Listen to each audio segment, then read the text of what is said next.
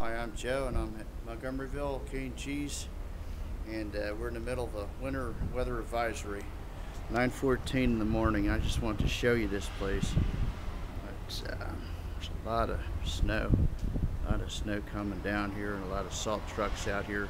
Didn't get any customers yet today at all. That's what you call a plow train right there. He's making his way down the pike very slowly here.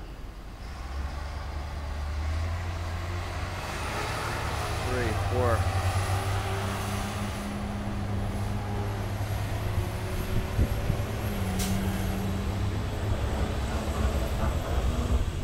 This is Montgomeryville, Pennsylvania, 26th of February, 2010.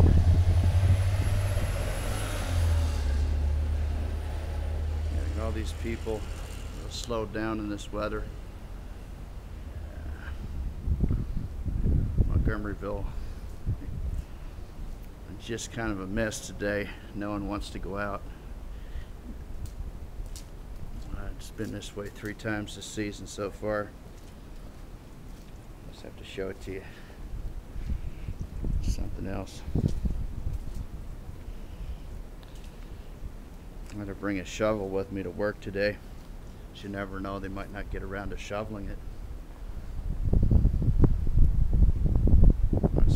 Dock, and we're hoping for UPS to show up today. So we have some work to do. There's UPS, good. Uh, he may be going the other way.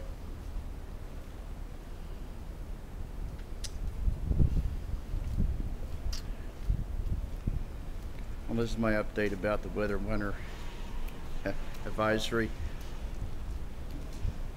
February 26, 2010.